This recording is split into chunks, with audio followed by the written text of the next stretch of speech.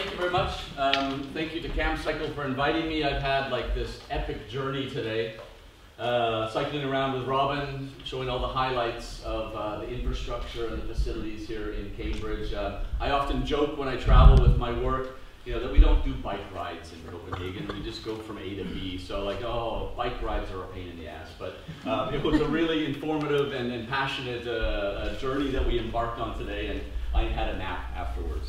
completely. Um, so I'm going to talk about bicycle urbanism uh, by, des by design um, as a way of introduction.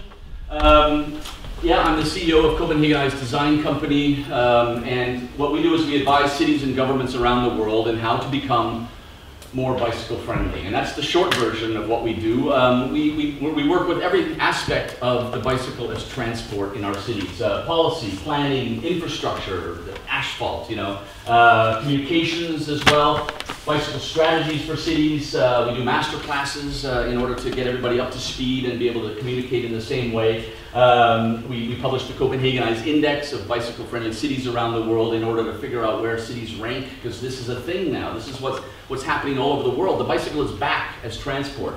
We're reestablishing it on the urban landscape, so we, we need to be able to measure very many things. Um, the, the invading joke, fair enough, because we did, and we were good at it. Uh, uh, welcome. Um, Once. and look what we left behind. no, but um, the, the, irony, this is, I can say this in this country because uh, when I, when I coined the phrase Copenhagenize um, uh, in 2007, you know, when you coin something nowadays, you Google it and see if anybody had thought about it before, and I was lucky because nobody had, except there was a reference to a military uh, dictionary from like the late 1800s. Uh, and the word Copenhagenize was something, it's your fault basically, you people. Uh, the, the, British invaded in, in 1801, or they, with the Navy, they bombed Copenhagen. They came, we were on the wrong side of the, the Napoleonic Wars. So I apologize for that. Um, and then they, they, came back in 1806 and 7, and they bombed again. And, uh, and at the end of that campaign, uh, the first act of terror between two European countries, it's been called. Um, and and the, the British who, who sent 30,000 men ashore, and the king said, fine, fine, you got us. He says, yeah, that's cool, but we're going to take your navy and we're just going to sail it back to Britain. That's like, you know, the reparations for, for losing this battle. And the king's like, excuse me? yeah. And so the, the Danish Navy, the, one of the most powerful in Europe, was just sailed away and we just kind of waved as it sailed know, away through the Kattegat and down to the UK. So that became known as Copenhagenizing. And uh, it, was, it, became this word. So other countries feared being, being Copenhagenized, the British bombing them into submission and taking their navy. So, so it's, uh, it's yeah, that was your payback, I guess. For, right? So, I mean, we, we, we have an office in Copenhagen. We have offices in Amsterdam, Brussels, Zurich, and Barcelona as well. So this is this is uh, this is what we uh, what's what makes us get out of bed every morning. Um, my baseline, you know, every time I travel around the world and people say, oh, but this city, you understand, it's a little bit different. And cities are different, and we have a civic pride. We all think, you know, our, the city we live in, we've chosen to live there, therefore we, we maybe invent um, uh, or fabricate ideas that makes, oh, this city's different than everybody else, and that's fine. But um, my baseline is that cities are just urban spaces populated by Homo sapiens who just have to go from A to B to C and home again. And when we boil that down in our work, that makes our work much more easy because it's just, uh, it's just a, like a template for us uh, within we can, where we can work with. Um, so that's, that's the baseline. There's a lot of special things about Cambridge. There's a lot of special things about Copenhagen, Buenos Aires, wherever you want to go. That's true. But really, this is the, this is the baseline for, for the way that we work. I like to focus on streets. Uh, cities are amazing. I'm a city boy at heart, I can tell you. Um, for 7,000 years, since cities first were formed, streets were really the most democratic spaces in the history of Homo sapiens. Nothing beat the streets for democracy. We did everything in the streets. We transported ourselves back and forth. We bought and sold our goods. We, we met our future partners. We did business. Our children played in the streets. They were an extension of our homes. They were our front rooms, basically, for 7,000 years. Two things happened to change that perception of the democratic space, of the human street. Um, the first thing that happened was that in the late 1800s, early 1900s, this rapid urbanization back then Engineers were the urban heroes of the day. You know, any, they could tackle any problem that cities could throw at them, and they did an amazing job. Thank you for electricity, for plumbing, you know, for, for sanitation. But nobody had a solution to the traffic safety problem that emerged with the invention of the automobile. So engineers were handed the job almost out of desperation. There was nobody else we could turn to back then. And really, almost overnight, the perception of streets for 7,000 years as a democratic space that we all share became rapidly different. The streets were regarded as, as, as, puzzles to be solved with mathematical equations like, like sewers and electricity and whatnot. This is a, a very important uh, paradigm shift in our perception. the other thing that happened was that the automobile industry had a problem. They had these shiny new products that they really wanted to sell, and yet they were despised. This is something that's actually called the anti-automobile age in the 10s and the 1920s of the last century. And, and, and, the automobile industry realized that they had to you know, get their game face on, and they had to uh, start using marketing, spin, and good old-fashioned name-calling to change this perception of streets that had, that had been you know, prominent for 7,000 years. Um, in America, they have that word, jaywalking. Fortunately, we don't have any translation in Danish and many other European languages, but they invented the concept, the automobile industry, of jaywalking.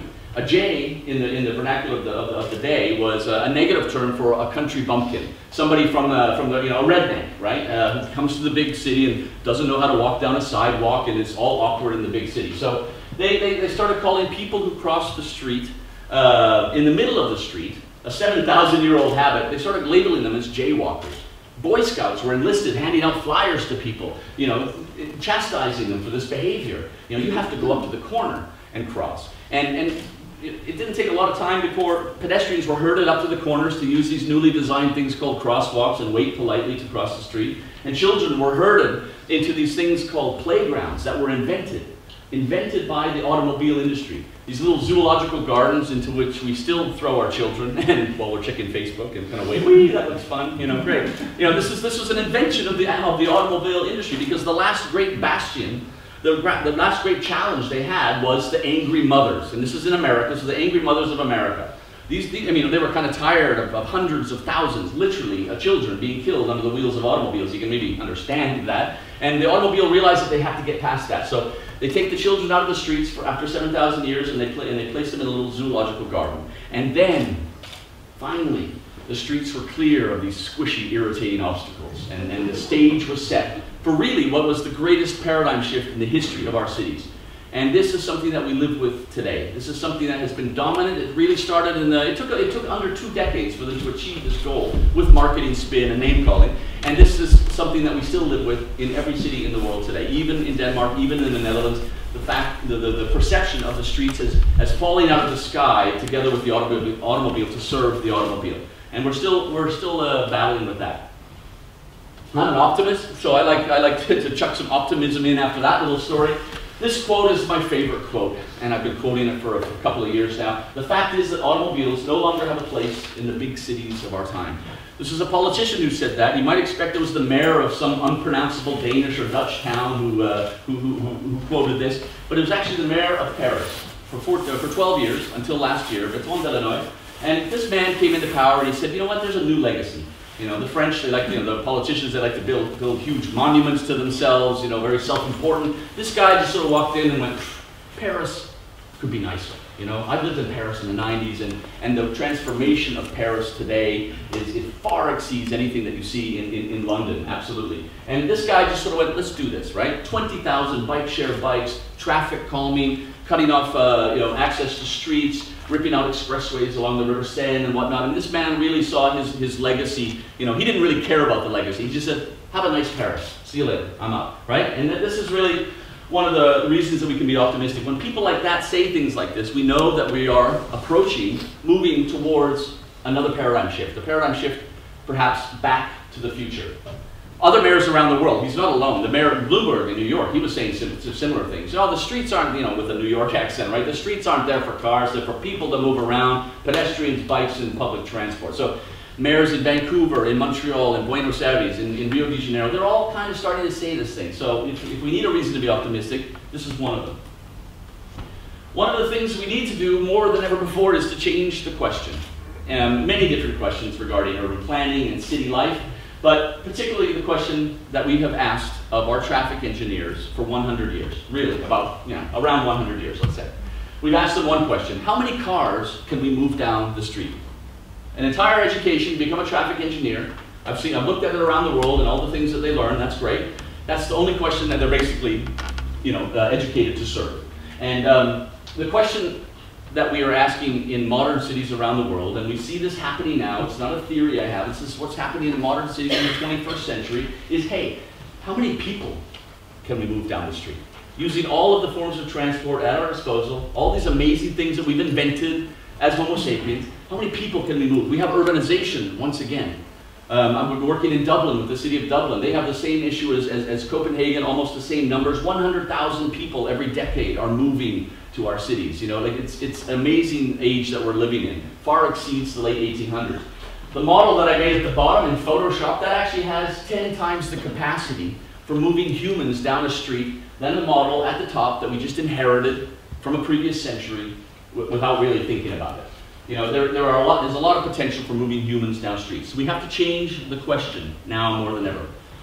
At the moment, it feels like we're all just characters in the film The Matrix, if you've seen that. You know, we have all of this, this, this we're, we're kind of controlled from above. We live in this reality that we accept to be the only one, and we're controlled from, really, from above with all of the people who are uh, designing our sewers, electricity, and our streets. Um, it's all mathematical equations and, and, and, models that have been used, many of them unchanged since the 1950s. Uh, if you really look at traffic engineering regarding streets, like there's nothing new. If we still had our education system or our healthcare system based on the 1950 standard, you know, we would all, it would be an uproar. We would say that's not good enough. We, have, we know more about that now. But this is the case. It feels like we're all characters in the Matrix, and we're not even Keanu Reeves. We're just like sort of like you know minor characters in the Matrix uh, that are unimportant. We, a lot of people don't seem too concerned about it. This is a short history of traffic engineering, kind of like tongue in cheek, but really it's kind of appropriate. For uh, the better part of 7,000 years, up on the top left, we prioritized our primary transport forms pedestrians and horses, maybe carts as well. 1900, 1920s, we were still very rational about it. We were providing a fast A to B for all of our primary transport forms that were important to us. The bicycle had appeared by 1900, still very, very active in our cities in 1920. Uh, trams, buses had showed up as well.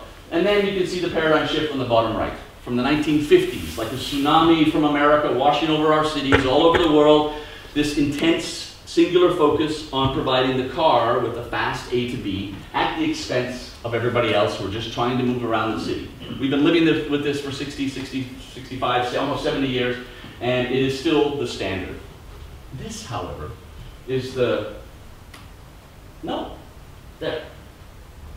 Yeah, on the right is the easiest traffic guide you'll ever see, the Copenhagenized traffic guide. You prioritize the forms of transport on the left, the three of them there, and you make driving a car difficult, more expensive, a pain in the ass, right? This is the only way that we're going to change transport behavior in our cities.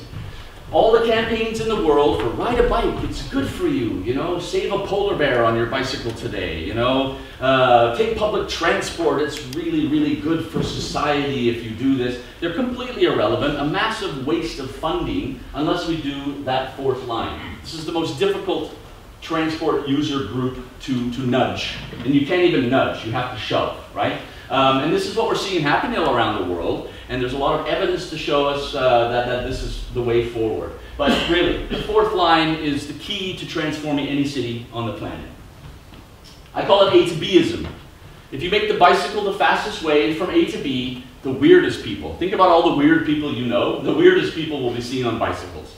Um, all we want as Homo sapiens is to go fast from A to B. I want to go back to my hotel fast. I want to go to the cafe on that date. I want to pick up my kids from school. I want to go to work.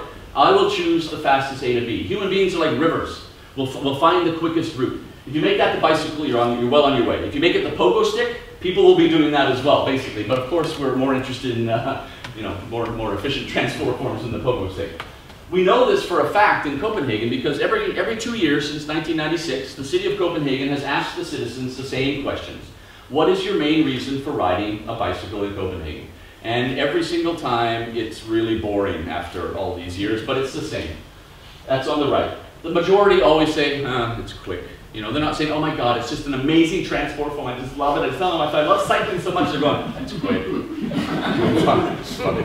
You know, it's like, man fast A to B. It's like, you know, anywhere I need to go, it's a bike, man, you know. And um, the next, the next one is like exercise. It's people saying, oh, I get that 30 minutes a day that I've heard so much about, you know, with my basket and my music in my ear. You know, I, I feel good about myself getting a little bit of exercise. 6% say, oh, it's inexpensive, you know, uh, and only 1% will say, oh, I'm doing it for environmental reasons, right? Saving the planet. So the 99%, in, uh, which is this expression we're now using these days, the 99% are just using an efficient, intelligent transport form. And we're reaping the benefits of them doing that. There is, we, we, we collect so much data in Denmark. We have so many cost-benefit analyses. We really figure out what the benefits are before we do so. And, uh, and we know that these people just going fast from A to B contribute an enormous amount of money. I'm just thinking if I have that slide later, which I don't. The citizens of Copenhagen today, there's two ways of measuring it. The people who arrive in the city of Copenhagen from other municipalities to go to work or education is 43% arrived by bicycle. The actual citizens, those of us who live in the city of Copenhagen, it's 63% who ride a bicycle. This is, uh, this is it's, it's an amazing number. These are not environmental activists. These are just people going, boom, fast A to B, go to the bar, go to school and whatnot.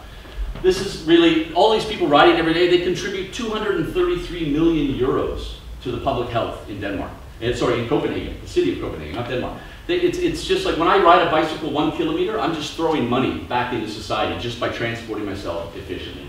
They don't know that. These people riding this snowstorm in Copenhagen, they're just provided with the A to B. Those of us who work with this know that this is the massive societal benefits. What we work with is a little bit different than many urban planning companies. So we, we focus a lot on design and human observation first. Anthropology first, and then we let that affect urban planning and later engineering. Um, on the world's busiest cycle track in Copenhagen, this is like, like 40,000 people a day on this one stretch of, uh, of street, the city of Copenhagen noticed that the, a bunch of people were starting to cut across a sidewalk to get to a parallel street. They'd never done this before in the 100 years since this, uh, this, this, this area was landscaped. And the city of Copenhagen said, well, why are they doing that? And they started to look at, at that location. New mobility patterns, they found out, had emerged. We have a new uh, development to the south of the city, so a lot of people were cutting off this busy cycle, cycle track to get around the city center to go to this new development. So that was very important to discover. Um, what, they did, what they did was they made a temporary cycle track painted on the left across the sidewalk. It goes against everything that we have in our Danish traffic standards to put a cycle track across the sidewalk. But the city of Copenhagen looked at these people and said, this is why they're doing it. They're, they're trying to get somewhere else that they've never tried to get to before. They tested it for six months, pilot project, and they said, fine, this is, this is a good thing. So what they did was they actually made it permanent, and the photo on the right we work a lot with desire lines. Desire lines are, are democracy in movement, they are democracy in motion. And, and the citizens of our cities are communicating it with us 24 hours a day. Every fragment of every minute of every day, our citizens are communicating things to us, like secret messages in a bottle, about how they want to use our urban space. And we're arrogant to think that we can make them go this way down that street on that detour because, oh, it's safer for them. The people are telling us how they want to use our urban space. So the city of Copenhagen really respect desire lines. It's the most beautiful expression in urban planning. This is like, this is where I desire to go. Um, and, and they legitimized these people's behavior. It's illegal to ride on a sidewalk in Denmark. They legit legitimized it by providing them with infrastructure. And that few hundred people grew to a couple of thousand every single day since they, since they uh, did that retrofit. This is like, this is how I, you know, some people go bowling. I look at desire lines, basically. This is my hobby. This is my view from a hotel in Halifax in Canada. The common, you know, from the 1700s, this huge park in the heart of the city. And when I was there in my hotel window, like this puppy dog looking at desire lines, it snowed. And uh, I was sitting there watching all of the people cutting across the park. The green lines are the original pathways, you know, from, from you know, Victorian age where you could you know, go for a promenade and whatnot, and uh, nowadays maybe walk your dog, go for a bit of a run. The red lines were actually where the people were using the park. They were going from the neighborhoods off to the left to the city center on the right. A modern city would watch that, observe, respect the fact that people are doing it, and redesign accordingly. Don't take out the green pathways, but provide this, you know, make pathways on, on, on the red lines. Um, that's what modern cities are doing. They're watching and listening to their citizens. What we've pioneered is, is the desire lines analysis where we will film an intersection for 12 hours and I uh, completely step over urban planning and I have anthropologists come in and they just sit there and study 12 hours of footage of people uh, using an intersection. We wanted to find out. The goal with us doing this is trying to reinvent the intersection, trying to trying to, to make it better, prioritizing cyclists and pedestrians and whatnot, trying to think out of the box. Um, but the stuff that we figured out by studying almost what 90,000 cyclists uh, in Copenhagen and Amsterdam, it, it's, it's, it's been absolutely amazing. Nobody has ever looked at cyclist behavior before on this scale. There's some small scale studies from here and there, and you know back then, 20 years ago, but nobody had ever really, really studied this in detail. Um, so 12 hours of, of, intense human observation, 250 hours of, of, watching people. There's no computer model in history that can beat that. Just people watching people. Um, we did a, the city of Amsterdam hired us last year to, to, study 10 intersections where they have like congestion problems with bikes. And, uh, and we developed, delivered our findings to them. And they're actually retrofitting them now to make to improve the flow based on our findings. So it's an amazing value um, by looking at people instead of just punching everything into a computer and generating some models about how things will, if we increase cyclists or if we reduce them, blah, blah, blah. No, people are telling us where they want to go. You have to go to the next level when you're up against the matrix. We've changed, with this analysis, we've changed the conversation in Copenhagen and in Amsterdam, particularly in Copenhagen, because that's where we're from.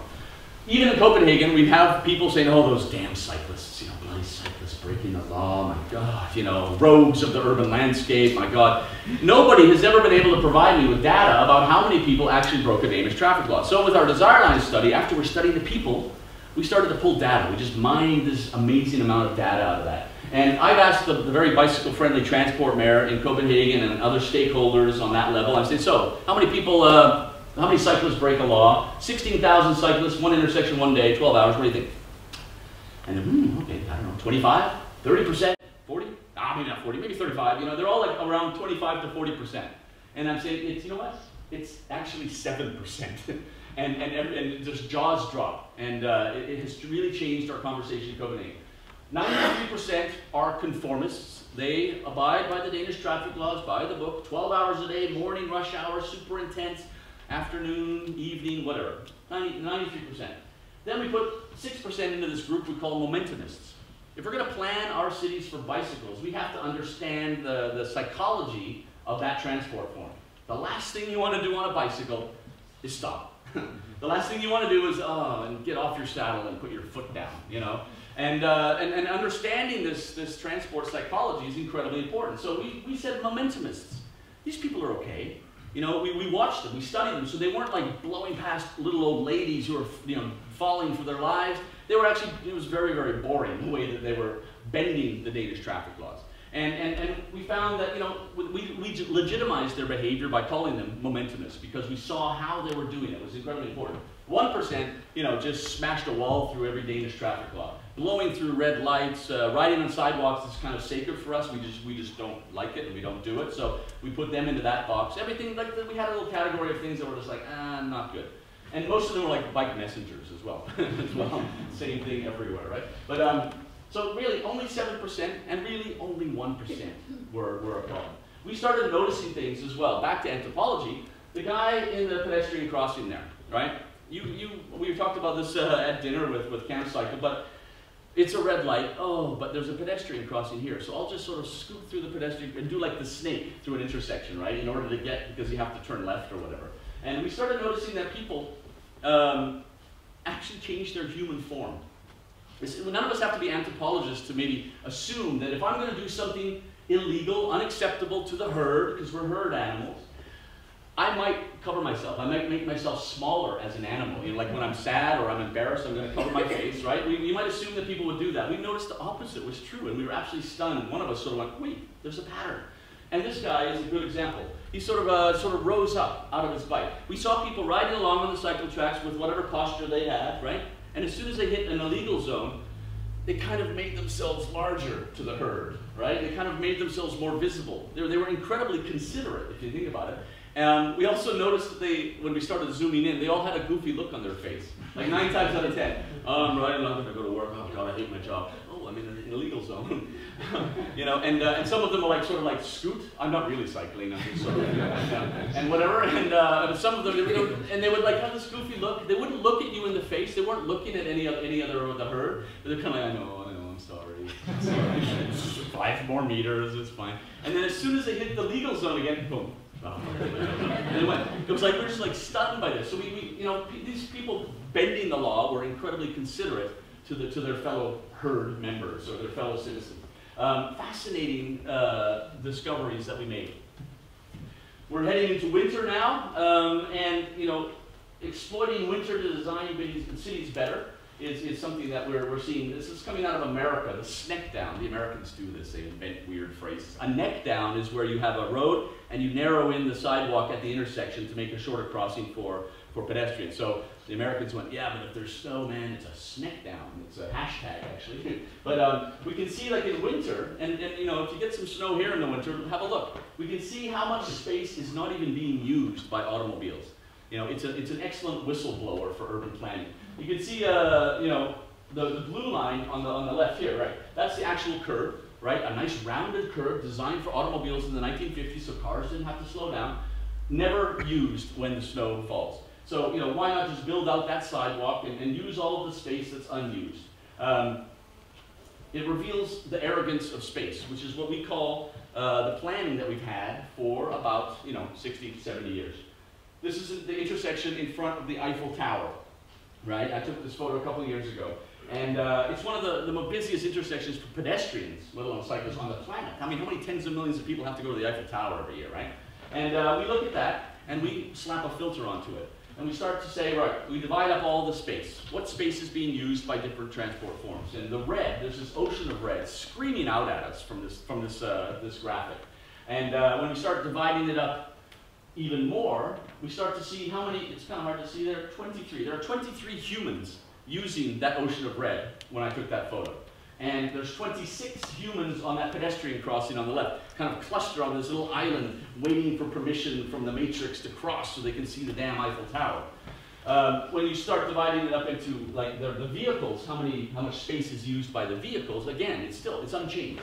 It's the arrogance of space that we have inherited from a previous century a real whistleblower technique. We, I was just speaking in Paris last week, so this is why I have this slide in here to sort of like shove it in their noses. The mayor of Paris said, oh, we're going to be the most bicycle-friendly city by 2020. So my job last week to this you know, gathering of architects and urban planners like, a, nope, it's not possible. You people don't understand best practice infrastructure. That was my job last week. But this is how we would redesign the intersection based on best practice infrastructure. Um, improving flow for almost all the traffic users there. Even the motorists, they, they would be unaffected by this. Uh, but it would improve everything for the pedestrians and the cyclists. Not a big problem here in, in many cities in the UK, but this is an extension of the idea of the arrogance of space. In many North American cities, they have car lanes that are wider than Slovenia, right? It's like, it's, it's like seriously, you can like sort of text and drive.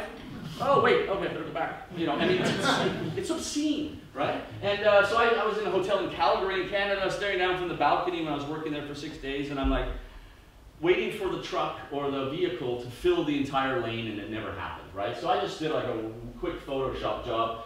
That's the actual car lanes on the top left. I started taking away the space in the middle that was unused. I basically just like, you know, did it in Photoshop. That created a Copenhagen style width cycle track off to the right, you know, off to the side. If you want it on the left, that's fine. It's a one-way street and on, it's kind of hard to see on this graphic at the bottom, everywhere I went in North America and, and many countries in the world, all the space is right there. It's just been allocated in this arrogant, you know, 1950s kind of mentality to, oh, have all the space you need, man. But there's a lot of space for, re, you know, the reallocation of, of, of, our urban space, the re-democratization of our urban space. It's not about, oh, cars suck, let's get rid of all the cars. That's not going to happen. It's about like just being more democratic about how we allocate our space. I see a lot of stuff when I travel. I see a lot of good stuff. I've seen some good stuff today in Cambridge and maybe some less good stuff in Cambridge. But despite you know the arrogance of space, despite 100 years of, of best practice, of cycle track design, of the Danes and the Dutch figuring stuff out for 100 years, testing it, you know, and, uh, and, and, and, making mistakes and fixing them, I still see, see stuff like this. This is a, from a European capital. I promised never to mention who they were. Um, but this is an example of like engineers told top down, dude, we need to have bikes. Bikes are a thing now. okay. You know, a guy who doesn't ride a bike, who doesn't care, who has to go out and like find space for bikes. Like, you know, just what an irritation. It's like squeezing bicycles into my perfect traffic engineering matrix. Oh, God, it's irritating. No regard for design, the human experience, logic, or safety. You have loads of space off to the left of, the, of these weird bollardy things. Um, this is taking away space from pedestrians, which is not you know anything that we want to do. It's, it's, it's not, you know, it's, it's, yeah, it's not a reallocation of space. It's just squeezing people into like existing space and leaving the sacred cow, you know, alone on the left. Um, America's given us perhaps many great things that we uh, use in our daily lives in, in the history of America. Bicycle infrastructure is not one of them. they should just like shut up and leave it alone um, and copy best practice. They have like bicycle, cycle tracks or bike lanes, they're not even tracks, bike lanes on the wrong side of parked cars. You know, putting bicycles in between the door zone and moving traffic. You know, you'd never put a pedestrian walkway there, so why would you put bicycles there? Um, on, they have the sharrows. This is like their great contribution is the sharrow. You know, oh, we'll just paint a pictogram. You know, there are American cities who say they have 400 kilometers of bicycle infrastructure because they painted some pictograms, right? nothing keeps people safe. Nothing encourages people to ride. So, you know, uh, best, best practice design is a result of several generations of planners and engineers working together in various countries to figure out what the best solutions are. And it's, it's folly to ignore it. It's, it's a copy paste. I mentioned Ljubljana, I mentioned Slovenia, I made fun of them, right? But one of the great examples is, uh, um, wait, I'm going to see what the next slide is. Oh, it is, it is actually Ljubljana, right. Um, Ljubljana in the 1970s, I was talking about this today, which I'm mentioning now. They, uh, there was a mayor, way ahead of every curve that we're working with now, and he sort of went, well, we got 2% on bikes, but we could have more. It's kind of like makes sense, man. This is like in the early, late in the 60s, early 70s. So he sent a team of engineers to, uh, at that time, to Copenhagen, and they just went up there and and I just imagine these sort of like, you know, kind of like Cold War types sort of showing up with their Volga cameras, taking pictures of infrastructure and looking around, you know, suspiciously, and then going back to Ljubljana and saying, this is what they do in Copenhagen. and then the mayor went, do this Ljubljana, okay. And so they built 40 kilometers of separated infrastructure based on the Copenhagen standard, and they went from 2% on bikes to 10% in one year. Like by the end of the year, it just went boom.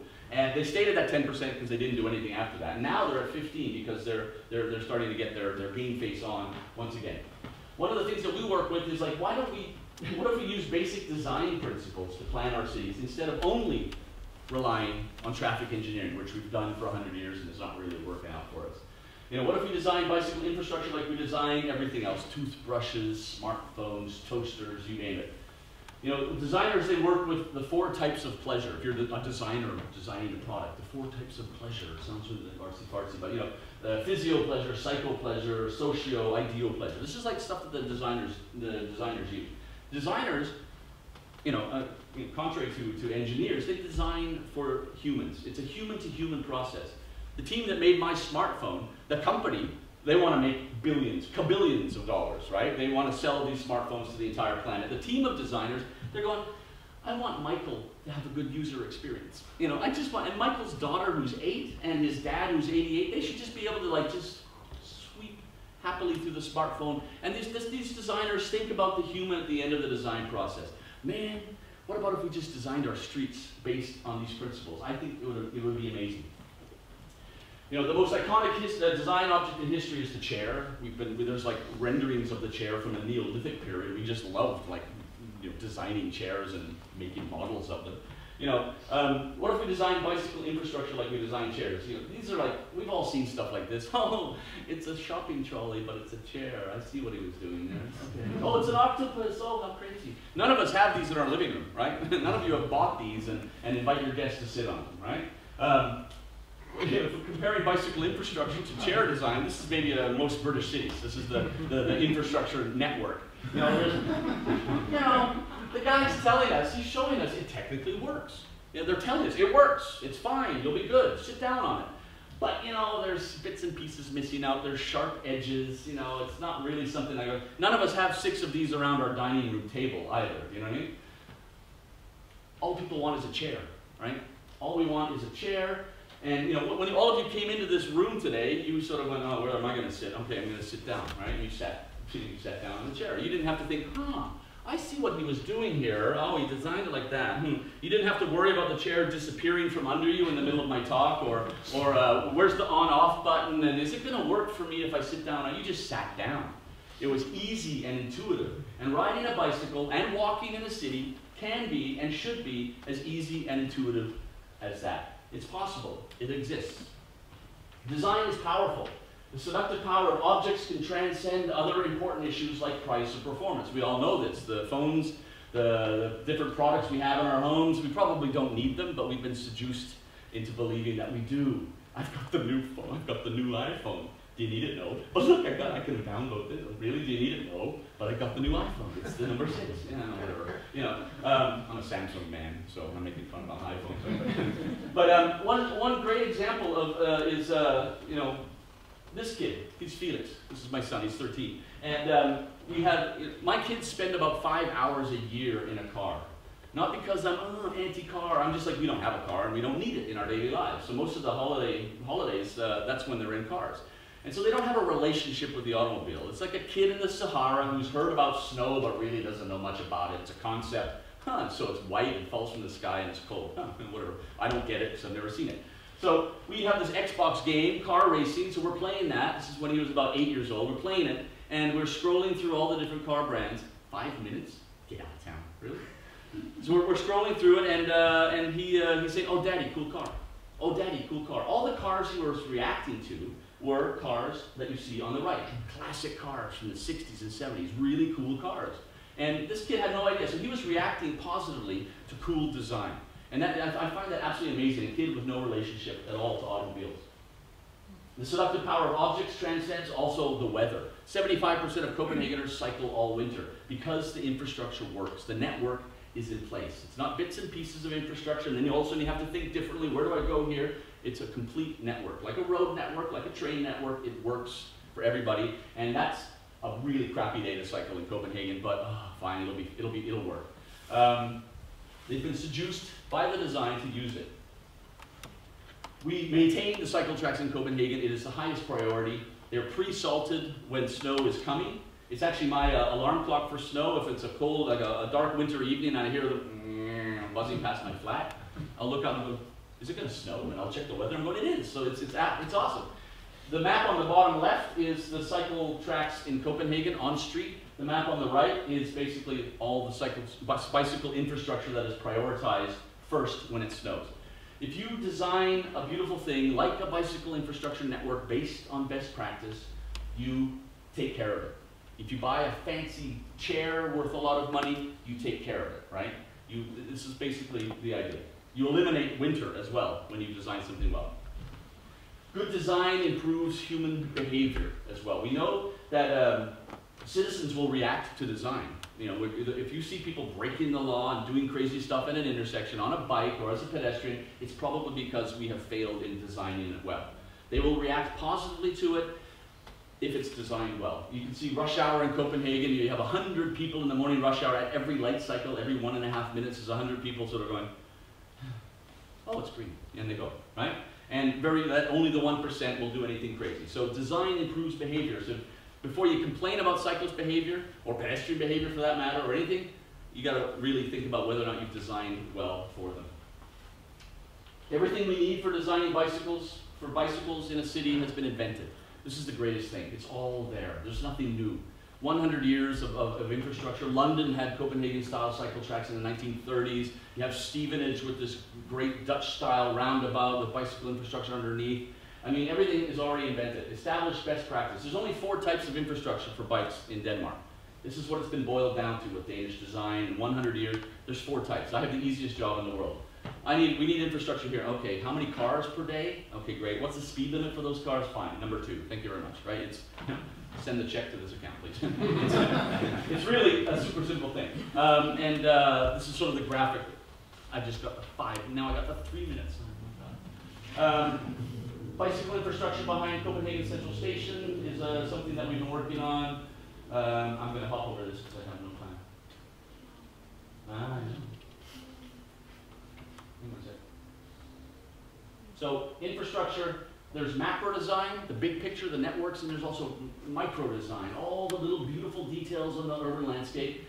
Little tiny desire line. somebody put in this little ramp in a backyard in Copenhagen, nobody knows who it was. I went around asking. It's a little curve to get to the bike parking. Somebody just sort of, uh, you know, you would just pop up the curb with your bike. It wasn't really a pain, a pain to do that. And uh, somebody went in and went, bzz, bzz, And, and, nobody knows who it was. It's just like, and I sat there in the morning watching people coming into work, and they roar into the backyard and they aim for that little ramp, right? You know, basically by the people, for the people. This manhole here, this is on a new street in Copenhagen, and it was angled up to the curb as a ramp. And was it the designer of that street, or was it the big, uh, the, you know, the, the, guy in his overalls, probably named Jens or something, with a big beer belly going, hey, there's bike parking over there. Just angle that up, make, you know, let the kids, uh, you know, whatever. I really wanted to be Jens, and I tried to figure out who it was, and I've never found out. But um, a lot of micro design and, and, and desire lines along the urban landscape. Um, in Copenhagen, we have like the railings for cyclists here, so they can hold on to the railing or put their foot up at the lights. It has a behavioral advantage because you're not going to say try and try and like sort of roll a bit into the intersection, not wanting to get off your bike. You'll actually just uh, hold onto the railing and pull yourself into motion, or just put your foot up. Spoils the people who ride bicycles. On the footrest, uh, this is a campaign that we did for the city of Copenhagen. Hi cyclists, rest your foot here and thank you for cycling in the city.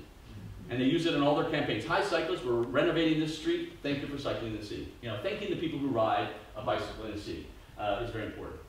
We have to listen to the great, I need two more minutes. uh, the greatest minds. It's really important. We have a lot of knowledge uh, from 7,000 years, and we know have a lot of people in Denmark and the Netherlands who've been doing this for a while. We have to listen to the greatest minds at our disposal, like Lulu Sophia. She's eight now. She's not seven, but she's eight. This is my daughter. And there's stuff that I have, if you Google the world's youngest urbanist, you'll come to our blog and you can read about the Lulu. She has a hashtag now, the Lulu. She's, she, I don't talk to her. It's not like, Daddy, let's talk about this, or asking the childish questions or whatnot. It's just like she just says stuff. I'm just going, I'm going to make so much money off of that. you know, and um, there's some great examples. One of them is we're walking around our neighborhood, and we're just holding hands like this, and we're waiting to cross the street, waiting for the matrix to give us permission to cross the street. And she just sort of was, she was quiet, and she just looked around, and, uh, and then she looked up at me, and she said, Daddy, when will my city fit me? I'm going, whoa, this is awesome. Um, but, whoa, how do I, I have to answer this right? I'm the dad. And then I said, hey, you'll grow, look at your brother, you know, eat your vegetables, blah, blah, blah, fine, you know. You're, she just felt incredibly small on the urban landscape. And we can understand that, you know, for kids walking around a city, garbage cans are like basketball hoops, buildings are like the Empire State Building, even if there's six floors. And I said, you'll be fine. And what's happened with that was I started thinking, damn, does my city fit me? You know, do I, when I can ride around certain parts of Copenhagen and feel like, yeah, I am the king of this urban landscape. You know, five meter wide, one-way cycle tracks, little narrow car lane for those people across the lakes, you know, in the morning sunlight. I can romanticize it all you want. I do it every day. It's amazing. Then there's parts of Copenhagen where I don't feel like my city fits me. I feel like there's like some weird buildings from the 70s. You know, there's like eight lanes of motorway, and there's. I still have a nice cycle track, but still like, ugh, I want to get past this spot. Indeed, most cities in the world, I don't feel like the city fits me. It made me think about the life-size city. This is something that, uh, that we're working with as a, as a concept at the office. Like, is this the life-size solution? Does this make little Lulu and Big Mikael feel at home, feel like they belong on the urban landscape? And it really is an important way to approach it. I went to Felix, my son, in the third grade, and I said, right, to the class, I said, right, can you redesign the roundabout outside your school that you all use six times a day? Make it safer for bikes and pedestrians, and try to get people out of their cars. And I didn't say anything about urban planning. I didn't want to like you know, pollute their minds. I said, that's your job, right? So do it. You got a week. And the teacher was in on this, of course. And they just went out on site visits and did drawings and divided up into teams, went back to the classroom to discuss.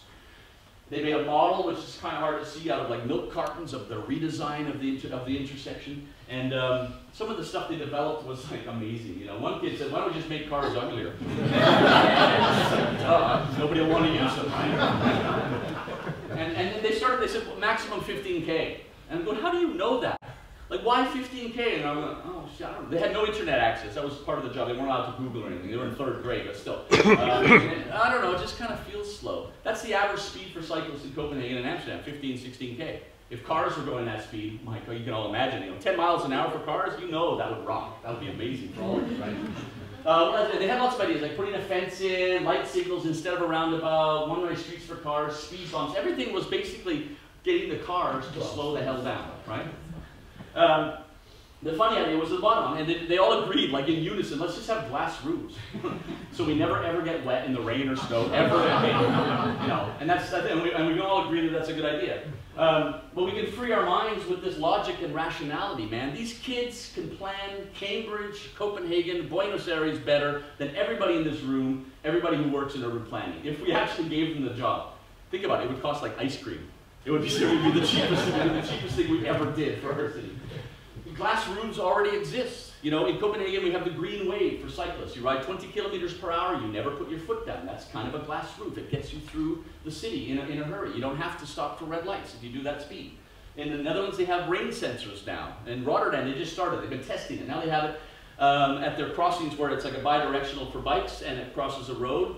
If it's raining or it's cold, cyclists are prioritized three to four times more often than the people just sitting there in their car with their music on.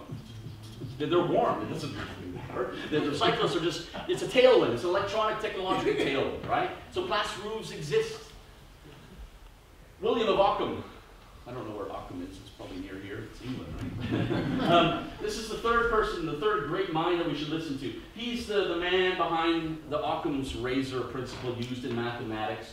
Simpler explanations are generally better than more complex ones. If you choose the simplest, most rational solution, you probably chose the best one, right? This is the guy who, uh, who, uses this principle. We use this in our company all the time. We say, right, what's the razor on this job here for this city? Let's apply the razor. It's really, really important. Um, simplicity is the key. So that's the question. What would the streets of our cities look like if our main consultants were five-year-olds, third graders, and 13th century religious guys, right? They would be beautiful, they would work, they would be safer. If this is a thing, if safety is a thing, there's a 9-11 every single month in the European Union in traffic deaths. It's a three, you know, 35,000 people a year in the, in the EU, not even America, they also have that. It would be, they would be safer than any point in the last century. It's important to look at the big picture. We are all focused on certain things, campaigning for cycling, urban planning, I have to do this street, I have to design that. It's important to look at the big picture, the monumental motion. In Denmark, we have really, uh, in Copenhagen, we have the lamest uh, national kind of monument. It's this little naked green lady on a rock, right? The little mermaid staring out to sea, right? I mean, and she's life-size. Uh, in 100, for 113 years, people have been saying, that's it? She's so small. Every language in the world, somebody said, but she's so small. about the we're going, oh, but she's life-size, shut up, right? And, uh, you know, but this is really, I think, the greatest monument that we've ever built in Denmark and in the Netherlands, it's not like a specific thing to us, is the bicycle infrastructure network. We're building monuments. We're building monuments to our cities for the next 100, 200 years of transport. And that is important to remember in the big picture. I'll leave you with this quote. Cities are erected on spiritual columns. Like giant mirrors, they reflect the hearts of their residents. If those hearts darken and lose faith, cities will lose their glamour. This is a 900-year-old quote, and it's more true today than ever before. We're planning for bikes. We're trying to, you know, influence politics. We're doing all, you know, all the things we're doing. But all we have to do is make the hearts of our citizens shine, and the bicycle is one of the best ways to do that. Thank you.